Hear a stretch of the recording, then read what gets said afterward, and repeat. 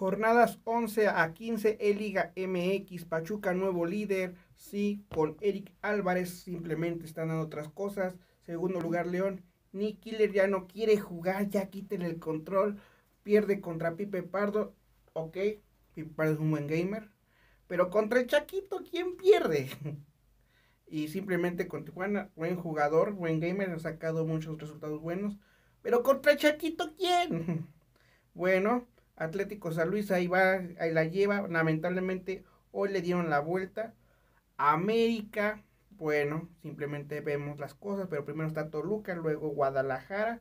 Toluca simplemente con Diego Rosales y Pipe Pardo, ahí la llevan. Ya no vuelva por favor a la Medina. Este, Chivas con Beltrán que ganó el clásico Giovanni Dos Santos muy bien. Con Gudiño, pues ya sabemos que pues ya perdió invicto. Con Monarcas Morelia Ahora sí, América hay que trabajar porque simplemente el América, por suerte, está ganando a veces con Giovanni Dos Santos, pero bueno, Santos Laguna con el Mudo Aguirre, para mí Santos no va a entrar a la liguilla, Monterrey simplemente Cantú era para ser el campeón, pero pues dio la dignidad contra Nahuel Guzmán, que es un para mí de los pésimos gamers, tuvo suerte, goleó, no sé qué le pasó a Nahuel que se convirtió en todopoderoso, empezó a sacar goleadas y bueno, ya sabemos que ganó el clásico, vamos a ver más adelante si Nahuel puede hacer que Tigres esté ahí en la liguilla. Bueno, ahora bien, Necaxa, Mauro Quiroga en la jornada 9 no lleva ningún gol, ahorita ya lleva prácticamente 12 goles, pero bueno, vamos a ver más adelante qué es lo que pasa. Tigres, vamos a ver cómo les va, porque pues ya Nahuel Guzmán es el gamer estelar y demás, el oficial. Puebla con Ormeño y Eduardo Aguirre, vamos a ver más adelante qué es lo que pasa. Para mí, Puebla tiene que estar en la liguilla. Pumas ya se vino para abajo, sus gamers son pésimos. Atlas con Acosta, que estaba haciendo buenas cosas, se vino para abajo con Guian Torres, con Brighton. Vamos a ver más adelante qué pasa. Querétaro con Marcel Ruiz y Areli Hernández están sacando buenos resultados. Igual deberían estar más arriba.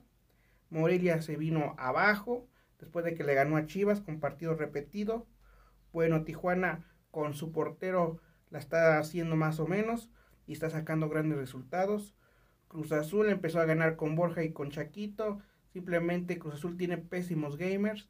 Para mí, pues, simplemente, pues en lo virtual y lo real, es un equipo mediocre, pero bueno.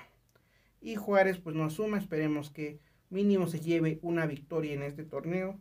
Y bueno, Monarcas Morelia se muda a Mazatlán. Es tristísimo para la afición de Monarcas, ya que ellos le dan una identidad al equipo. Jugadores como Fantasma Figueroa, Moisés Muñoz, Ignacio Carrasco, Mauricio Martín Romero hace algunos años. Ahorita estaba lo de Raúl Ruiz Díaz, los peruanos.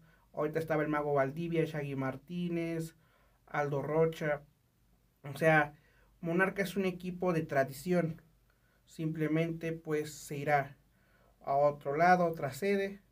Esperemos que tenga nuevamente fútbol esta ciudad que pues es emblemática.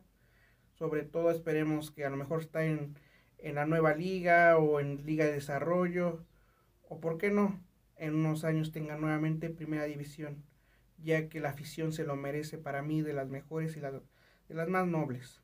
Y tradición e historia el equipo Monarcas tiene. Incluso más que Tigres. Así que déjame saber en la bandeja de comentarios cómo le fue a tu equipo en la liga, si va a clasificar. Y nos vemos hasta el siguiente video.